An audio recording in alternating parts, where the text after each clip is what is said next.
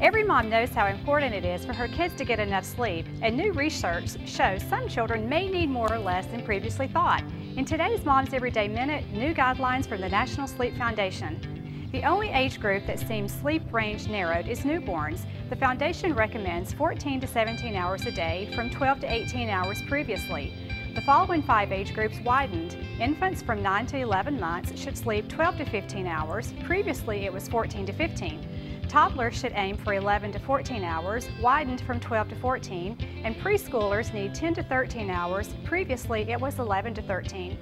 School-age children widened one hour to 9 to 11 hours, as did teenagers 8 to 10 hours of sleep. The new guidelines were compiled based on a rigorous systematic review of scientific literature relating sleep deprivation to health, performance, and safety. Find more at momseveryday.com.